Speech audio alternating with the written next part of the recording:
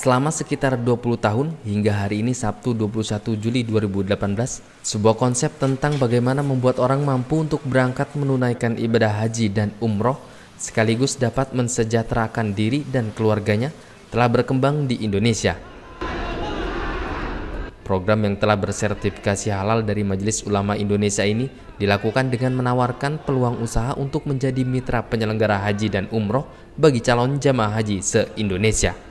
Harifuddin, manajer marketing PT Amina Reksa Perdana Perwakilan di Batam mengatakan, untuk menjalankan peluang usahanya, calon jamaah harus membayarkan uang sebesar Rp3.500.000 sebagai uang muka biaya pergi umroh dan Rp5 juta rupiah sebagai uang muka biaya pergi haji plus.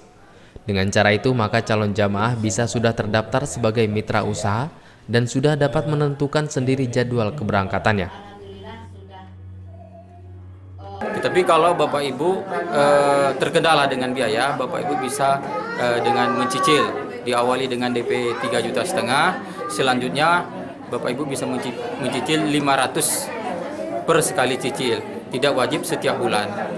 Kalau juga terkendala dengan biaya mencicil, Bapak Ibu bisa e, mengambil kemitraan dari menjalankan hak usahanya itu Bapak Ibu bisa membayar lunas biaya umroh.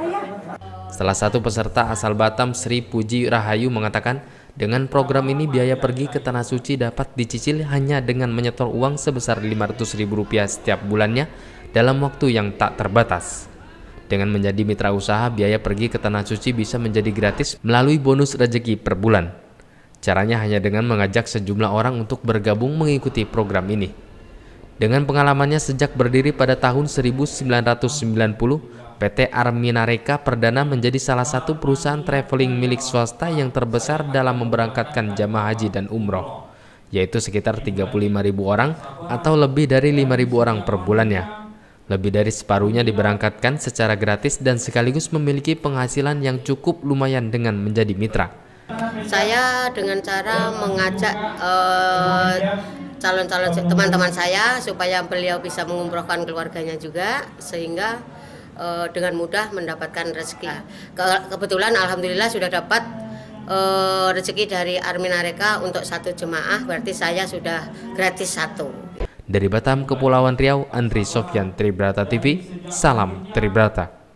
Umroh dan haji plus akan tetapi